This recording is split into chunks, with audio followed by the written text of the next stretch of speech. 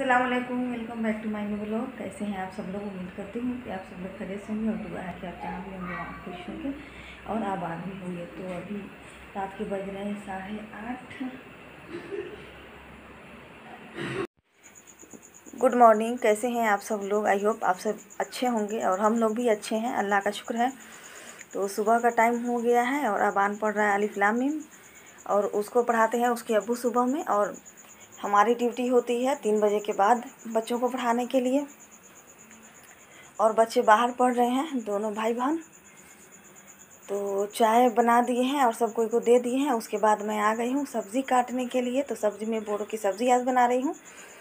क्योंकि बोरों की सब्ज़ी हमारे यहाँ बहुत कम आती है, बच्चों को पसंद नहीं होती है। इसकी वजह से बच्चों के लिए दूसरा कुछ बनाना पड़ता है। तो बोड़ो की सब्ज़ी बहुत बेकार निकल गई थी, उसमें से जो छाट के निकला है, उसे हम बनाए हैं और उसके बाद जो बेकार निकल गई है, उसे हम हटा दिए हैं। तो चुन चुन कर बनाना पड़ता है, इसीलिए कुछ देर लग रही है बनाने में।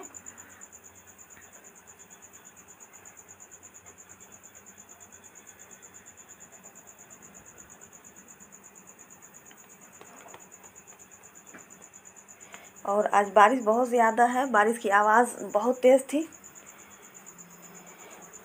रात से बारिश शुरू है और अभी तक ख़त्म नहीं हुई है बारिश। तो हम काटने के बाद मिलते हैं फिर। दिखाते हैं कितना बर्बाद हुआ है सब्ज़ी हमारी। तो देखिए सब्ज़ी को हम काट लिए हैं और इधर देखिए कितना बोड़ो ख़राब निकला है।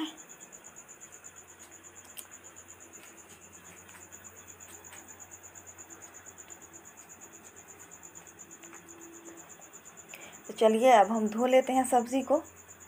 देखिए हम सब्ज़ी धो लिए हैं और छन्नी में निकाल दिए हैं और इधर चूल्हा भी जला लिए हैं। तो सब्ज़ी को हम फ्राई करेंगे। फ्राई करने के बाद मसाला को भुनेंगे। उसके बाद हम इसे उसमें डाल करके तब हम बना लेंगे। और बच्चे घिवड़ा तोड़ कर लाए हैं। तो अभी हो गया है नाश्ता का टाइम। तो मैं बना रही हूँ रवा का हलवा। नाश्ते के लिए चलिए, अब हम रखते हैं नाश्ता। और उधर बारिश हो रही है तो वहाँ पे कैमरा नहीं ले जा सकती हूँ। तो देखिए, अभी शाम का टाइम हो गया है तो शाम के लिए मैं बना रही हूँ नाश्ता। तो शाम के नाश्ते में है पकौड़ा बना रही हूँ, दाल के, जो क्या बोलते हैं, खिसारी की दाल होती है, उसी को भिगो करके रख दी थी। जब अच्छे से फूल गई है तो उसे हम पीस लेते हैं।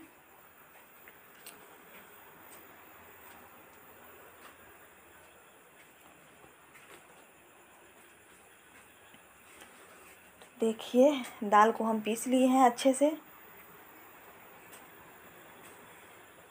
और इसमें हम डालेंगे कटी हुई हरी मिर्च और प्याज जो हम काट करके रखे हैं उसे। और अभी डाल रही हूँ लहसुन, काली मिर्च और ज़ीरा। का पेस्ट हम लोग बना करके रख देते हैं, उसे ही यूज़ करते हैं। तो देखिए, प्याज और हरी मिर्च को डाल दिए हैं। और अभी है लाल मिर्च पाउडर। और हल्दी पाउडर अब डालूँगी नमक।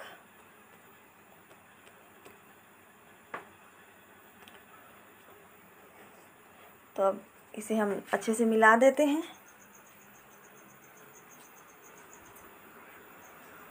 देखिए, तेल हमारी गर्म हो गई है तभी इसमें हम डाल दे रहे हैं। पकौड़े के पीसेज के तरीके से बना बना करके।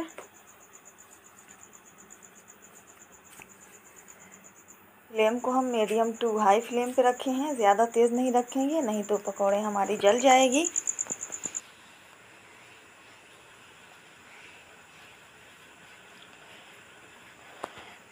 देखिए, बहुत बढ़िया कलर दिख रहा है।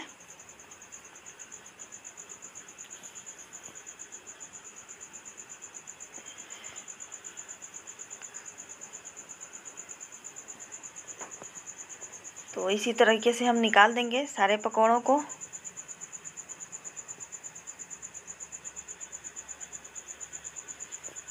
देखिए, नाश्ता तैयार हो गई है।